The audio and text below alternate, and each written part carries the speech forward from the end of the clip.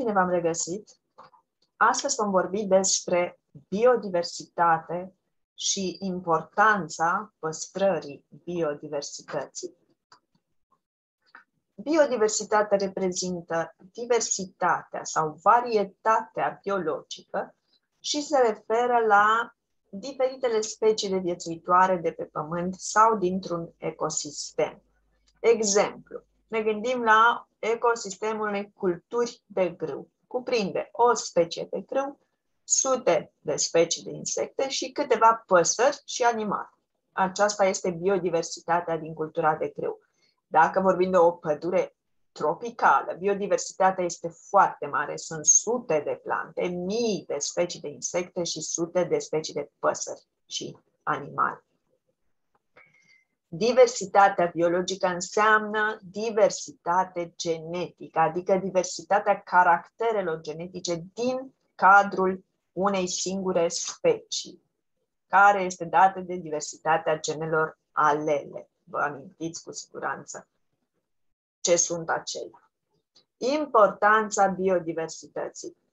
Importanță ecologică. Toate organismele dintr-un ecosistem sunt interdependente pentru a supraviețui. Exemplu, plantele și albinele care fac simbioză. Dacă n-ar exista albinele care să facă polenizare, plantele nu ar mai face fructe, noi nu am mai avea ce să ne hrănim. Biodiversitatea asigură stabilitatea ecosistemului. Cu cât este mai mare, cu atât ecosistemul este mai stabil.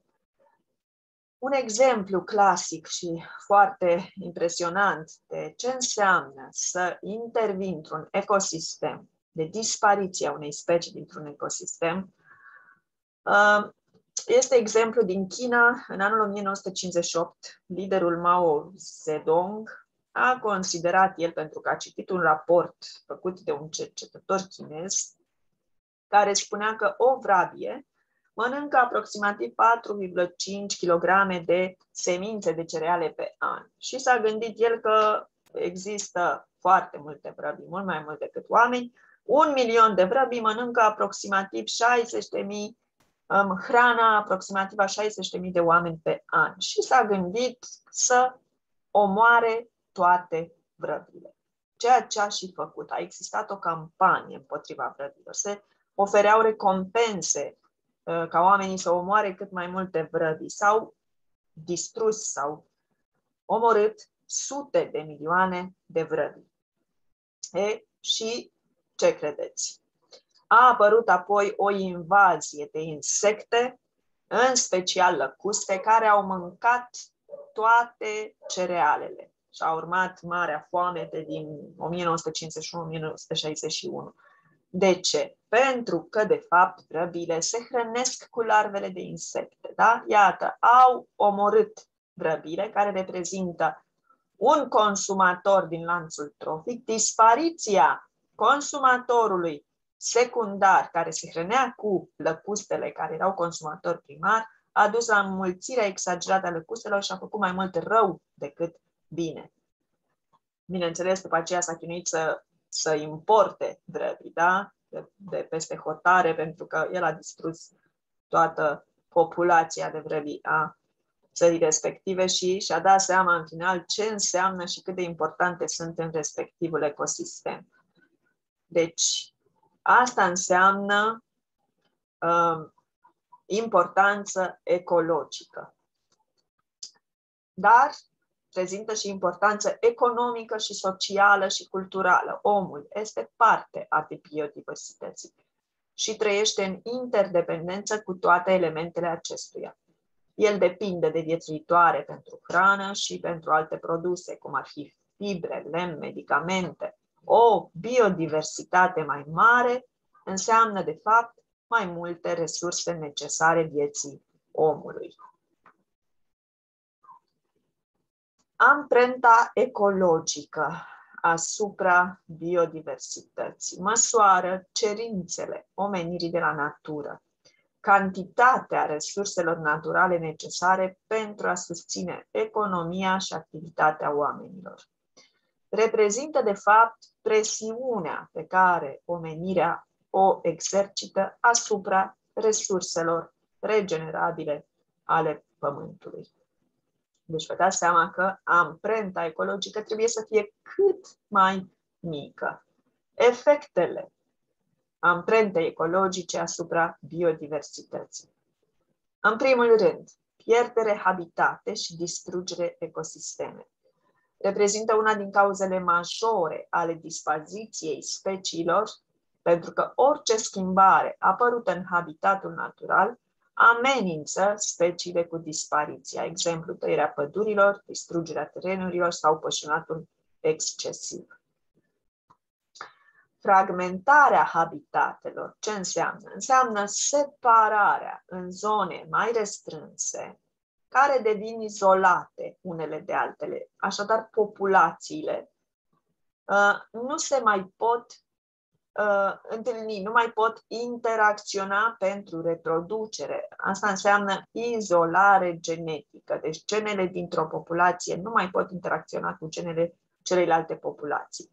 Unele specii părăsesc habitatele, altele, alte specii depind de uh, speciile care au părăsit habitatul, astfel că ele mor sau părăsesc și ele habitatul. Iată, un exemplu de a limita efectul fragmentării habitatelor, bineînțeles undeva în străinătate, nu la noi, vă dați seama că această autostradă a fragmentat această pădure. Da? Deci s-a produs o izolare genetică. Speciile din stânga imaginii nu mai pot interacționa cu speciile din dreapta.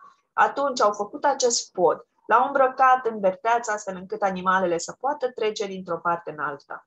Da? Să nu le mai fragmenteze ecosistemul, habitatul. Extincția și introducerea de specii noi. Ce înseamnă extincție? Dispariția totală, permanentă a unei specii. Celebru caz al dinozaurilor, care au dispărut, dar și mai mult de jumătate din speciile de pe Pământ sunt astăzi dispărute. Exemple de specii pe cale de dispariție sunt zimbrul, vulturul hoitar, morunul, floarea de colț, acestea sunt specii protejate, da? pentru că tocmai sunt în pericol de dispariție. Garofița pietrei craiului, papucul toamnei, introducerea de specii noi. Aceste specii noi numim, le numim specii invazive. Sunt specii care ajung să invadeze un ecosistem unde nu au mai trăit prin comerț sau turism internațional aduse. Da? din greșeală. Amenință biodiversitatea pentru că ele creează concurență speciilor locale. Acestea devin vulnerabile și dispar. Pot fi și periculoase pentru om pentru că ele pot conține virusuri din zonele respective. Exemplu, țânțarul negru asiatic a ajuns în Europa prin comerț și este purtător a 22 de virusuri, s-a descoperit ulterior o specie invazivă pătrunsă în Marea Neagră, rapana, care a decimat efectiv uh, populațiile de midi, pentru că este o specie carnivoră feroce. A pătrunsă tot așa prin comerț în Marea Neagră. O specie invazivă.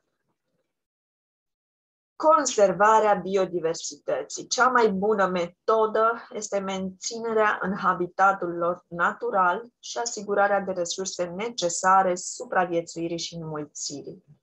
Pe teritoriul României există cinci regiuni biogeografice, dintre care regiunea stepică se găsește doar în țara noastră și sunt habitate și specii habitate și specii unice la nivelul Uniunii Europene.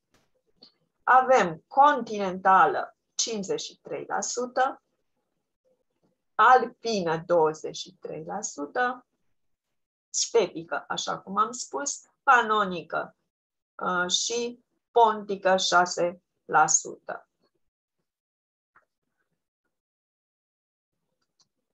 Când habitatele sunt distruse, speciile amenințate cu dispariția, atunci trebuie să luăm măsuri de protejare.